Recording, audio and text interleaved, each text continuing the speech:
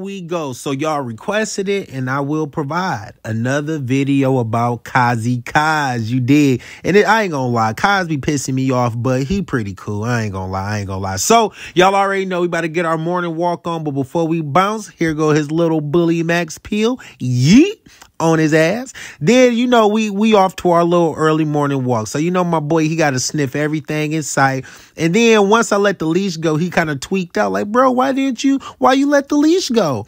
We finally make it to the park and this is where my boy could be a whole wild thornberry. Look at that smile. He just love the park. So as we out here, I let my boy sniff around, run around, you know, do the things that Cos like to do. He had the zoomies this morning, so we had to make sure we got that out. Then you already know we got to take a minute to admire my boy Cos. Look at my boy. And you already know my boy Cos, you know, he up for stud services, baby. So if you got a lucky lady, let me know.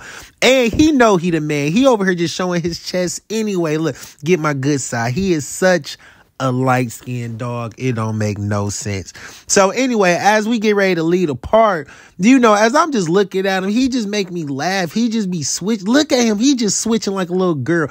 Cos is so zesty. It's hilarious. So we finally make it home, and now my boy, he is out T. What a good walk. Till next time, gang. Peace.